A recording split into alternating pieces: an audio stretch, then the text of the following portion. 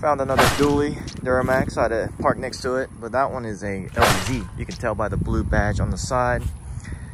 It's a very, very clean Duramax. I'd like to have one of those, honestly, one day. But can't go wrong with the LB7 either. In the last video we did five things we hate about this LB7 Duramax that I purchased. So in this video, let's go over some of the things I actually do like about this truck. The list isn't as long as the, the dislikes, but there's a reason why I purchased this vehicle. I'm gonna get Alex and Mondo's reaction of the new whip of the LB7 Dually. Cat Eye. Hey, you can match Matt. Well, he sold his now. No, you ain't got center caps. Oh yeah, that's right. She's a little rough around the edges, but she's a 10 footer. Don't get too close. But it actually don't look that bad. I gotta replace the ABS wire. You can't get me.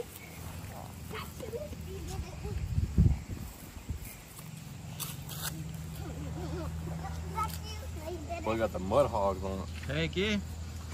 Kanati. Kanati Mud Hog.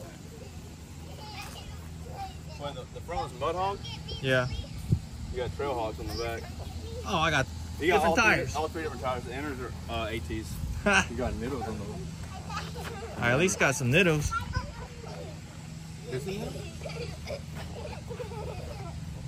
I doubt they pay for niddles.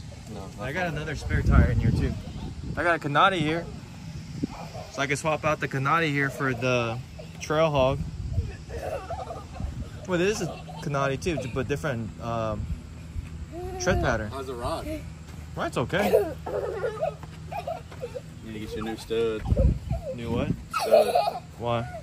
One stud's broken. I can't do that. Oh, you're right. There's a bit of for these you. dualies too. Yep. You gotta pull the whole axle out. Yikes. That's doable. There's eight studs, so I'm okay with seven.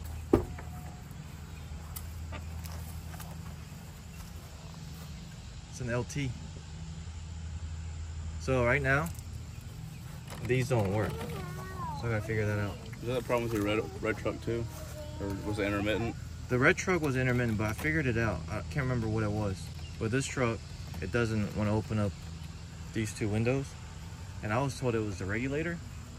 But if it was the regulator, I don't know, just kind of coincidence that Did the lock and unlock work? Yeah. And then there's a diode running right there. So I don't know what that Ooh, that's is. probably what the problem is. Something with that. So I don't know why there's a diode. Ain't no telling. I figure maybe you might have We'll an idea. And no, this was the original paint color. What's been painted? Yeah, you can tell. I mean, look at all Oh, the yeah. look at that orange peel. And they painted it right over the, the, the badges. Like, they just taped this off and then painted. You can tell. That don't look horrible though. Yeah, but I'm gonna wrap it. I know you like dualies. I do like dualies, you know it. I got- good. I already got Mondo and uh, Alex's reaction. Oh yeah? Yeah.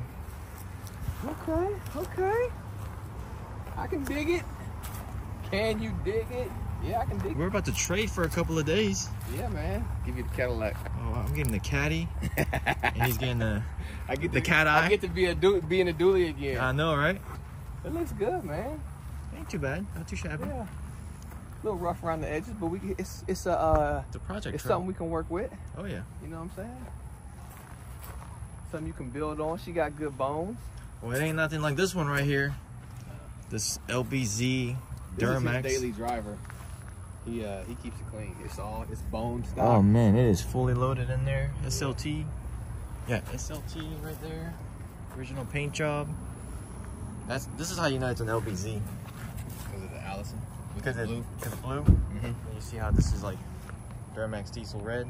Yeah. He uses it to tow his um fifth wheel. Toy hauler, I think it is. They go. This thing still gets it. He said he loves his truck. Nice. If he wants to tune it, let me know. We'll do. All right, reason number one is that it is a classic body, and not only that, it's uh, it's a cat eye. So I've owned let's see, my first truck was an 05 GMC. And then after that, I bought a 04.5 LLY GMC. And then also bought a 2005 GMC LLY Duramax. So I've had three of the, this is called the NBS body style. I've had three of them, all in GMC. And I've actually been wanting to buy a cat eye for a while now. Originally, I've never liked the cat eyes. I've always liked the GMCs. I thought the GMC's rounder look looked better. But over time, this kind of sharp looking front end, the headlights and everything, and the cat eye is a slang for what people call the Chevy front end. And over time, I really grew to like it, and I had some ideas on how I wanted to build a set of headlights for for these. So I've always wanted the cat eyes, and I was finally able to get my hands on uh, this OBS cat eye. So number one thing I really like about this truck that I purchased is that it's a cat eye. And if I couldn't find a cat eye, I was actually at a point to a point where I was willing to buy a, a GMC front end and do a complete front end conversion. So that was an option for me to do, but I felt like that was going to be kind of a waste of money just to buy GMC and then swap out the whole front end parts to uh, a Chevy but that wouldn't have been a bad idea because the, the shape that this front end is in, I'm gonna have to buy a new bumper, new grill, and new, uh, especially this fender because it's all janked up. So I'm pretty much having to buy a whole new front end to swap out all these uh, crappy parts. You know in the comments below what you guys think of the cat eye front end versus a GMC front end. And also, this is my first ever Chevy I purchased. We have a whistling machine. Look at that.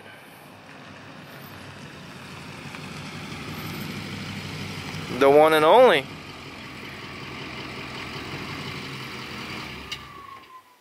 That's spool though. Yeah, Devin's the one that took me to go get this truck. He said I had to go get it. Good lord.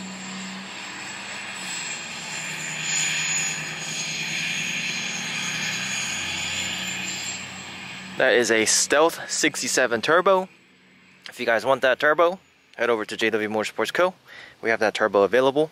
Now, where were we? Oh, reason number two of why I like this truck is that it is an LB7 Duramax. So it is a it is pre-emission. So no EGR, no DEF, nothing like that to mess up your truck with the exception of the California model. It does have an EGR for the California version. Federal LB7, no, e no EGR. And you can see it right here, which means, which gives me a lot of freedom to do whatever I want to this truck because it was never uh, legally required and I'm not removing any emissions components on this truck. So I'm not really not breaking any laws by modifying this truck. So that is a that is one of the things I really like because as EPA has gotten stricter with emissions and a lot of people tuners shops getting prison time or getting millions of dollars in fines I don't want to go to jail. So having a vehicle that doesn't have emissions and the freedom to modify this truck and share with you guys, which gives me a lot of freedom. So that is one thing I really enjoy. I can openly tune this truck and share that with you guys on what tune I went with, whose tuning I went with, how I tuned it, blah blah blah. If I upgrade the turbo, I can upgrade the turbo and you know freely document everything.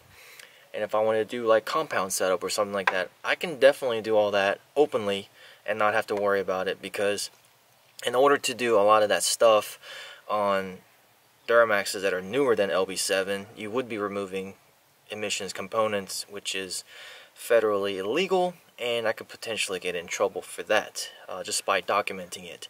Uh, even though I'm not selling delete parts, you can still get in trouble just because I am performing it and showing it online. So that is something I went away from doing until a couple of years ago. I was obviously making content about how to remove EGRs, blah blah blah, but everything's gotten really, really strict. I stopped doing that. And a lot of you guys have been like emailing me, messaging me, DMing me and stuff like that, asking about how you can delete your truck. And I personally have not been answering that and nor do I want to because I don't want to get in trouble. But this truck's gonna require a lot of work. I already know that because um, the guy who sold me this truck, he claimed the turbo was rebuilt. You can tell the turbo was never touched and he only had the truck for two weeks. There's no way the turbo was rebuilt in two weeks and got this dirty. He said him, his uh, stepbrother or brother-in-law or whatever replaced the injectors two weeks ago or he said he replaced the injectors like 7,000 miles ago. I don't know how you did that when you bought this truck two weeks ago. So I have plans of on probably doing new injectors, head gaskets, turbo, and all that good stuff to make sure this truck runs top notch because it will be a tow rig and I need it to be as reliable as possible. And we're probably going to go do some like piping with it, probably HSP piping. Alright, so we're going to do three things I like about this truck. And the third thing I like about this truck is that it is a dually. Now, in the last video I talked about it being a two-wheel drive and uh, that is the thing that I don't like because I've never had a two-wheel drive truck but with it being a dually it is going to be a really really nice tow rig and also being a dually means it's an 8 foot bed gives us a lot of space back here although it's ratchet we gotta we're probably gonna bed line it make it look better but I can truly use this truck for what it's intended to do. I can haul with this truck, do yard work, and be able to fit more lumber or or mulch or whatever. The longer bed utilizes truck for a work truck, and also with it being a dually, I could probably haul something and feel a little bit safer and have more stability with the truck. And that's kind of one thing I like about being, it being a two-wheel drive. I plan on using this for towing so don't really need the four-wheel drive um, that's also less parts to break less parts to replace as I mentioned in the other video I'd replace the axle seal and that delayed the process of lifting this truck by a couple of days so yeah on that aspect two-wheel drive is the way to go and with that being a dually it's going to be more stable and it's going to be nicer for us to tow with all right flash completed successfully turn the ignition off. Whoop. It's not good.